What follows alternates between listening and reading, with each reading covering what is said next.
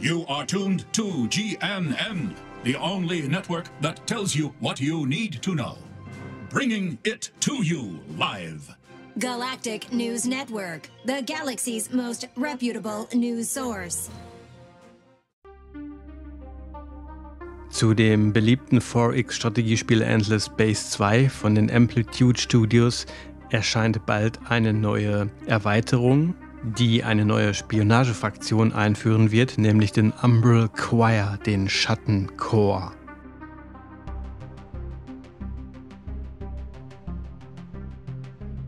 Eben dazu gab es jetzt auch auf Twitch ein Live-Preview, in dem erste Spielmechaniken konkret vorgestellt wurden durch den sympathischen Game Designer Jehel. Und ich möchte in diesem Video mal ein paar Spielmechaniken und Game Features vorstellen, was das Hacking anbelangt. Denn das ist ja das Kernstück der neuen Erweiterung. Aber zuvor vielleicht die drängendste Frage, Nämlich, wird die Umbral Choir Expansion noch dieses Jahr erscheinen? Hm, ich sage mal eher nicht, denn in Kürze im Dezember wird erst die Closed Beta starten und da Amplitude Studios selbst ja sagten, es würde die bisher umfangreichste Erweiterung, welche zu Endless Space 2 erscheinen wird, wird es wohl, hm, ja, wahrscheinlich eher im neuen Jahr 2019 erscheinen. Wobei ich dann äh, ja vielleicht doch eher auf den Februar tippe, denn im Januar kommen ja eigentlich nicht so viele Spiele raus. Aber gut, das ist jetzt Spekulation.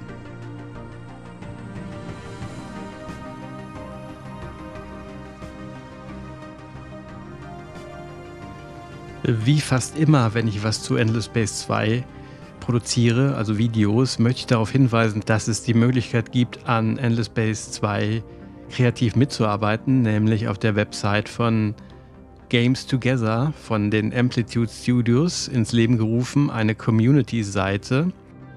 Und dort kann man zum Beispiel auch abstimmen über Heldennamen, Systemnamen und weitere Features des Spiels. Und wie jetzt auch in dem Twitch-Video gesagt wurde, findet noch eine, mindestens eine Abstimmung zu Umbral Choir statt. Also wer mitmachen möchte, kann sich kostenlos auf Games Together anmelden.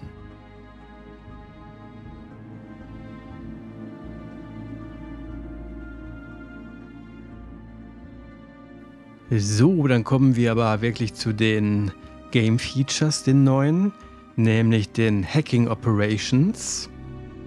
Und es wurde dort gezeigt, wie man Systeme hackt, also nicht nur Computersysteme, sondern ganze Sternsysteme des Gegners. Und das läuft in der Scan View. Das ist ja eine alternative Darstellung der Galaxie, eine Augmented Reality Darstellung und ähm, die wurde zuvor benutzt, um ähm, Ressourcen darzustellen oder diplomatische Verbindungen. Und diese wird jetzt durch dieses Hacking-Feature weit sinnvoller genutzt, denn hier kann man hier kann man quasi das galaktische Netzwerk sehen und gegnerische Systeme hacken mit Hacking-Tools.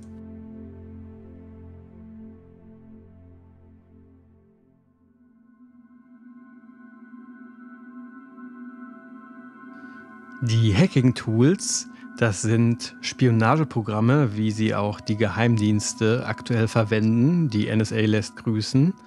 Und das sind zum Beispiel Trojaner und Backdoor-Programme, die quasi über die Hintertür bei den Feinden etabliert werden. Und so kann man Feindsysteme belauschen und Fakten und Daten sammeln.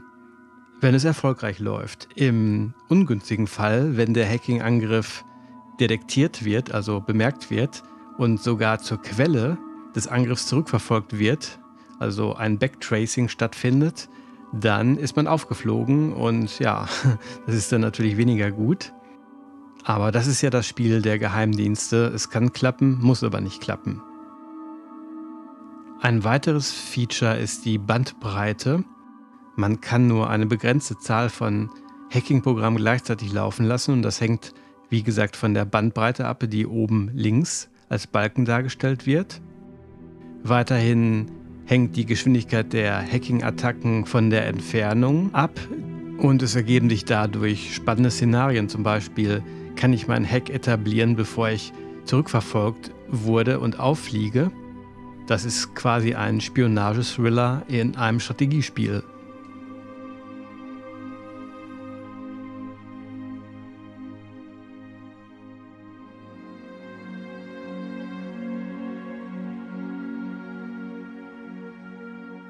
Ein weiteres Game-Feature wird sein Sleepers, also Schläfer. Es wird die Möglichkeit geben, Schläfer in fremde Systeme einzuschleusen und so feindliche Systeme zu beeinflussen, etwa die Politik, die Staatsform oder auch Sabotage zu betreiben. Je mehr Schläfer man erfolgreich etablieren konnte, desto mehr Boni bekommt man in Form von Ressourcen. Dazu gibt es auch eine Anzeige oben links. Und äh, es gibt Schwellenwerte von 15 und 20, ein Income Boost, der jeweils gesteigert wird, wenn man diese Schwellenwerte erreicht oder überschreitet.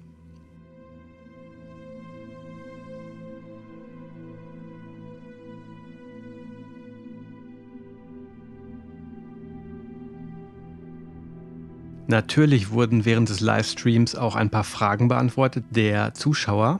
Und eine Frage war zum Beispiel, werden nur die Umbral Choir hacken können? Und das wurde klar mit einem Nein beantwortet. Alle Fraktionen, alle bisherigen Fraktionen können auch hacken. Doch die Umbral Choir oder der Umbral Choir wird natürlich gewisse Vorteile besitzen, denn es ist ja schließlich eine Spionagefraktion und das wird sich wohl in der Form von speziellen Faction Traits, also Fraktionseigenschaften, widerspiegeln. Eine eher speziellere Frage war, wird man auch die Vodiani hacken können, eine spezielle Fraktion, die eigentlich keine festen Systeme besitzt, also nur über Archen verfügt. Und auch die Vodiani werden laut Aussage von Amplitude Studios hackbar sein, wenn sie ihre Archen wohl vor Anker liegen haben und dann nicht stationär sind. Im Übrigen werden keine mobilen Flotten hackbar sein. Das wurde auch verneint. Die Miner Factions und die Piratenfraktionen, die werden ebenfalls hackbar sein.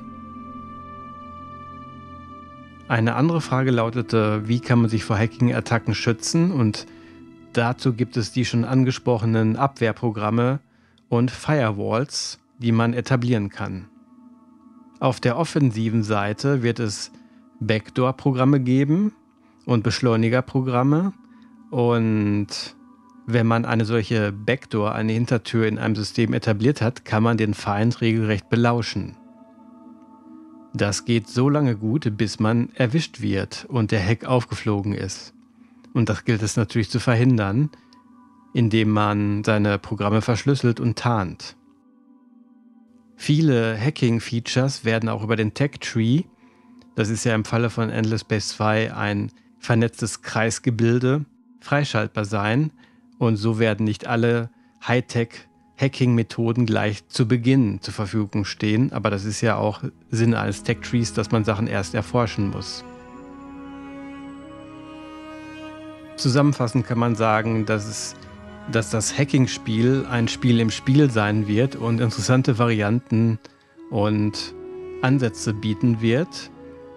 Und man wird auch ohne rohe Gewalt den Feinden erheblich schaden können und politische Umstürze und fremde Regierungen stürzen können, wenn es klappt.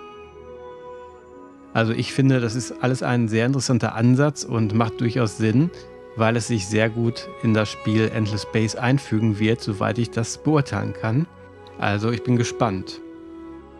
Und falls es noch wichtige Informationen zu Umbral Choir geben wird vor dem Release, ich nehme es schon an, zum Beispiel zu der Fraktion selber, wie wird sie sein, dann werde ich mich natürlich wieder melden und ein paar Features eventuell lüften können.